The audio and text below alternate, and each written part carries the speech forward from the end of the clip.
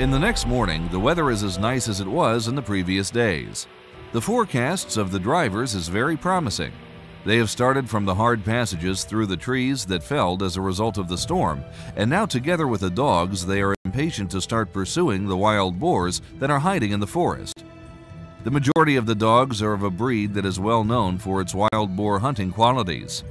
The Bulgarian tricolor beagle, or the so-called Pelage, the official history of the breed, for example, the first written sources, date back to the beginning of the 5th century.